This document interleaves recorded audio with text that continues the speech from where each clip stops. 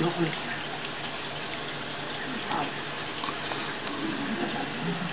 So now we come here and try to shine up the place.